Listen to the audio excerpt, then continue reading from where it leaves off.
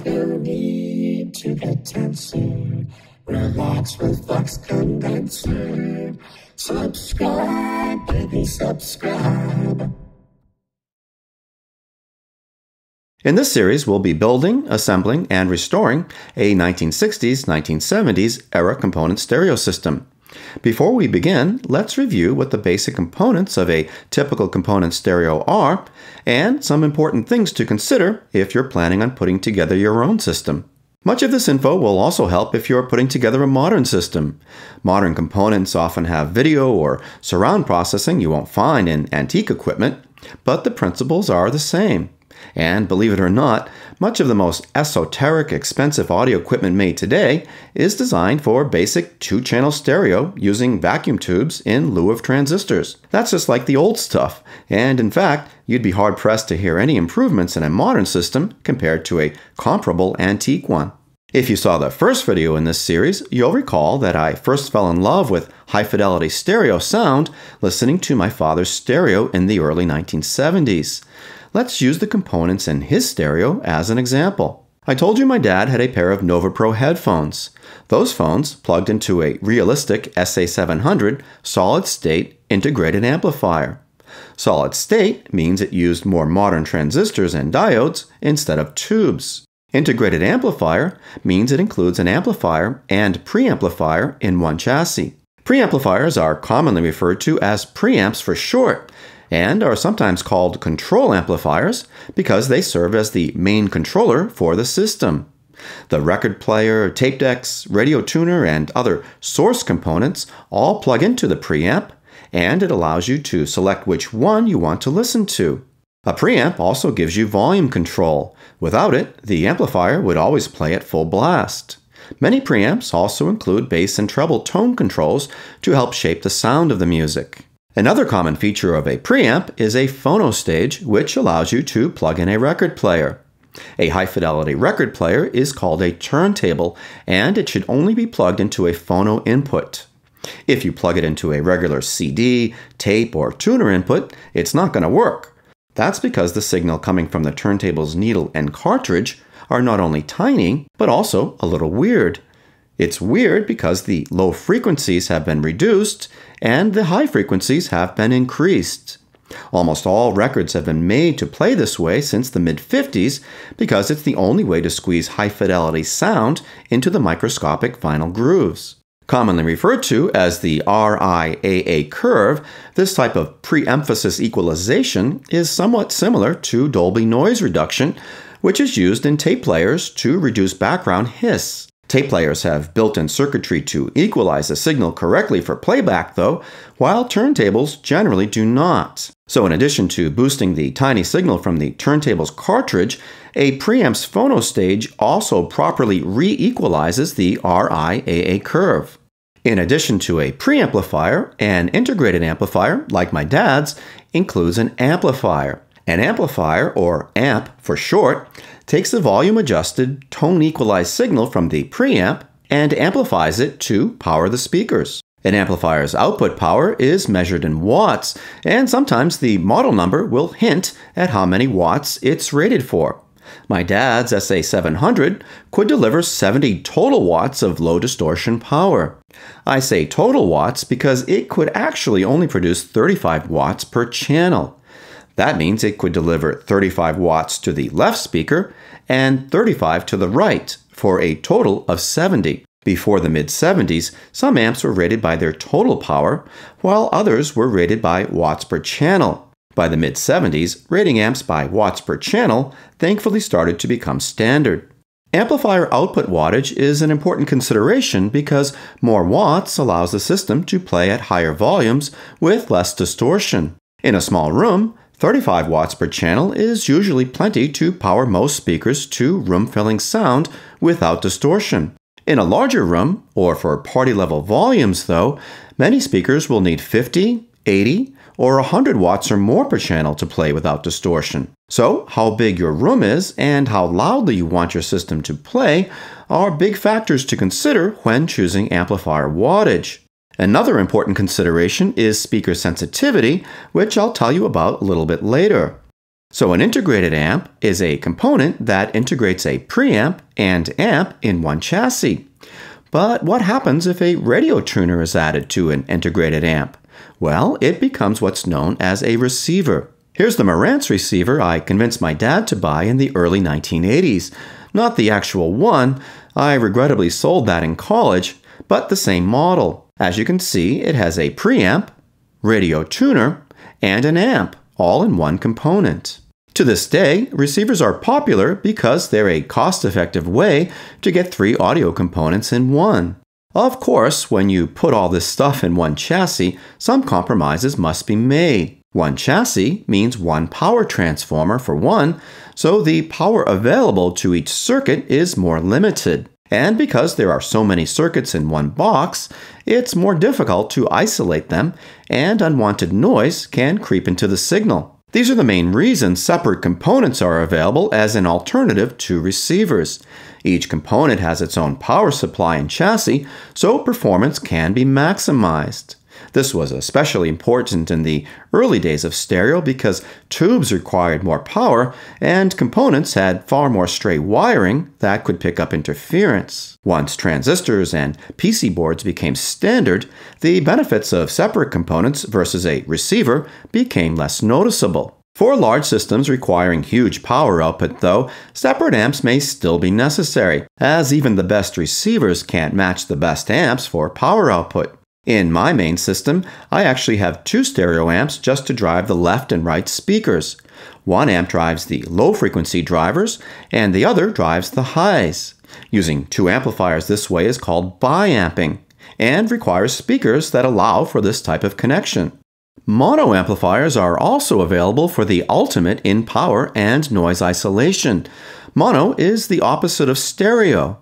Instead of two channels for left and right, there's just one. This monoamp by McIntosh is capable of an astonishing 1200 watts. Monoamps are often referred to as monoblocks. Four monoblocks would be required to drive a biamped pair of stereo speakers. As you can imagine, this can get very, very expensive. Even though I was first introduced to stereo through headphones, I actually prefer listening to speakers, and I think that's true of most people of my generation. Actually, this guy's not really my generation, as I was only about 15 when this photo was taken.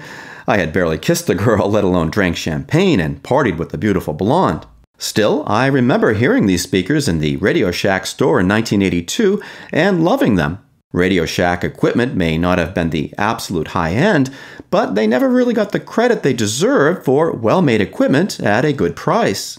Nowadays, younger people seem to prefer earphones or headphones, which are great when you're on the run or don't want to disturb your neighbors. Headphones can also be incredibly faithful to the music source and aren't influenced by the room or furnishings, which can dramatically change the sound of speakers.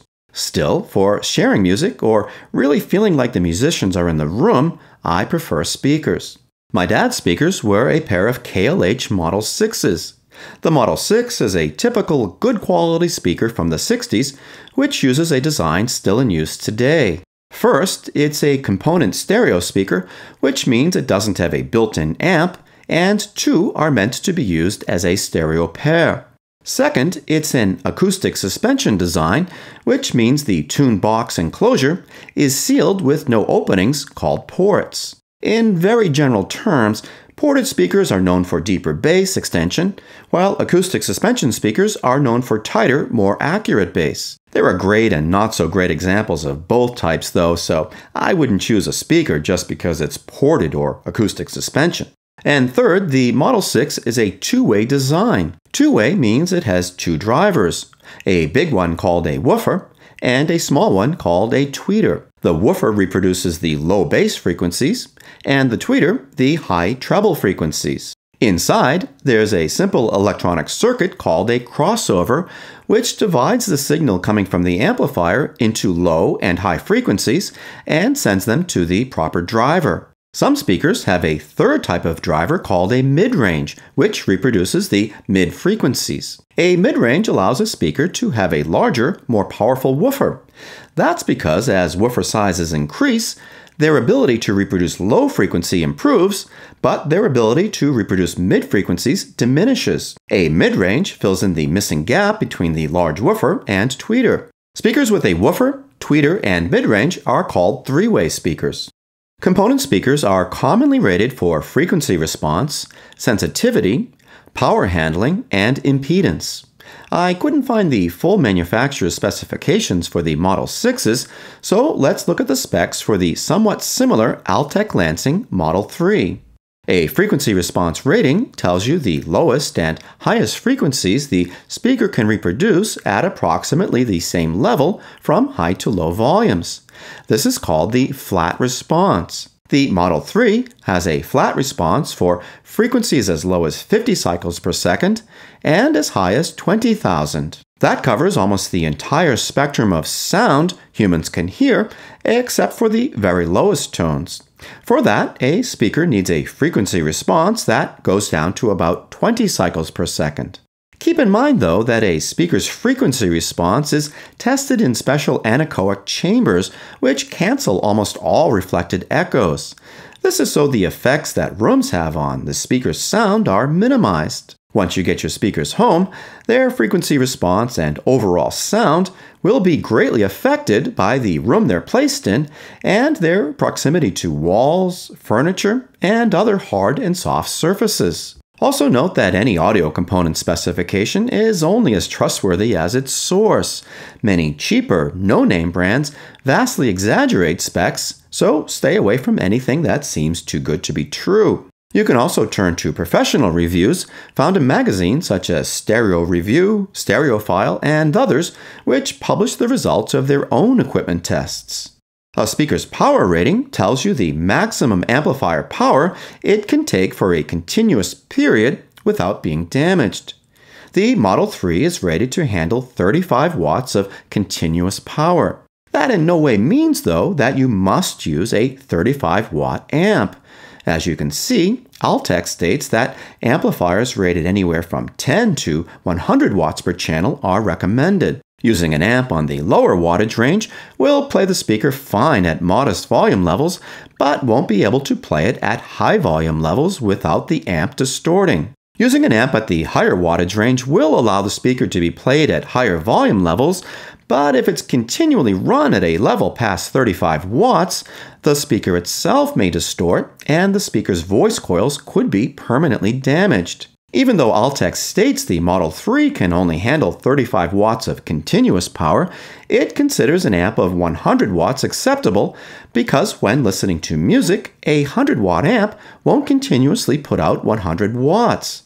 Music is always changing levels, so the amp's output is always changing as well. Just look at this 150 watt per channel amp from McIntosh. As you can see, most of the meter's range is dedicated to just 0 to 15 watts. That's because a great majority of the time, that's all that will be required from the amp. It's only when music reaches crescendo like levels that the amp will briefly be required to output 15 to 150 watts. This is known as transient or peak power. And the power a speaker can handle for brief periods is specified as its peak power handling. A speaker's impedance rating tells you how much electrical resistance it presents to the amplifier. Most home stereo speakers, like the Model 3, are rated for 8 ohms, and almost any home stereo amp will work fine with it. Some speakers, such as many Klipsch models, are rated for 4 ohms, though, which will also work fine with almost any high quality amp or receiver. In fact, there are some benefits to efficiency which can be realized by doing this. With cheaper low end stereos, though, driving a 4 ohm speaker may present a difficult load, so caution should be observed. Antique components, especially ones from the early 60s or older, can sometimes have atypical impedance ratings that are considerably outside the 4 to 8 ohm range. And for those, you'll need to be extremely careful and make sure your equipment is a suitable match. The final main specification you'll often see for speakers is sensitivity. It tells you how loud a speaker will play, measured in decibels, from about 1 meter away with a 2.83 volt or 1 watt input signal. This is actually pretty important as it tells you how efficient a speaker will be at squeezing out power from the precious watts coming from your amplifier. For the human ear to even notice a difference in volume level, it has to change by about 3 decibels. And to increase the volume of a speaker by 3 decibels, it takes a massive doubling of the wattage from the amplifier. At the same volume level, that means that the Model 3, with a sensitivity of 90.5, requires less than a third of the power as its cousin, the Model 1, with a sensitivity of only 84. That's pretty astonishing, and why I consider sensitivity to be the most meaningful speaker specification to consider. Not because high sensitivity speakers are better, but because it's the only spec that really tells you something useful. Otherwise, the most important thing to consider with speakers isn't specs, but how they sound. And for that, the only test equipment you need are your ears. One last note on sensitivity. Just as with our example comparing Altec Model 1 and 3, it's often the case that as speakers get larger, sensitivity increases. So, large speakers are often more efficient and require less wattage compared to smaller ones. That's a little counterintuitive, but pretty eye opening, or ear opening as it were. Now that we've reviewed preamps, amps, receivers, and speakers, it's time we moved on to building our vintage stereo system. In addition to the components we've already discussed, future videos in the series will also address turntables and tape players. To stay updated, please subscribe and click the bell. And if you like this video, give it a thumbs up. I'll see you soon.